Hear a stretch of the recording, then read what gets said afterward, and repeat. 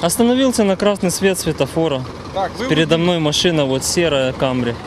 Смотрю в зеркало, летит километров 100-150 на всех парах.